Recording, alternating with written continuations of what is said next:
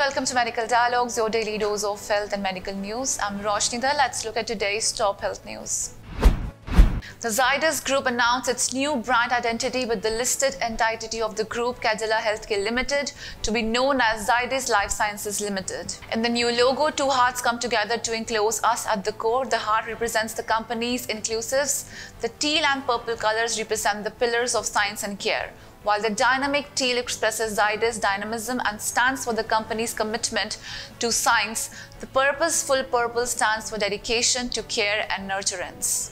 Sharing his insights on the new identity, Dr. Sharvil Patel, Managing Director of Zydus Lifesciences Limited, said, A new brand identity is the confluence of what we truly are a global life science company driven by the purpose of delivering care and nurturance for the patients, backed by the power of innovation, science, and cutting edge technology.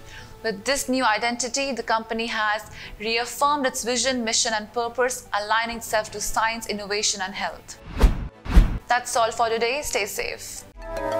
Never miss a medical update from Medical Dialogues.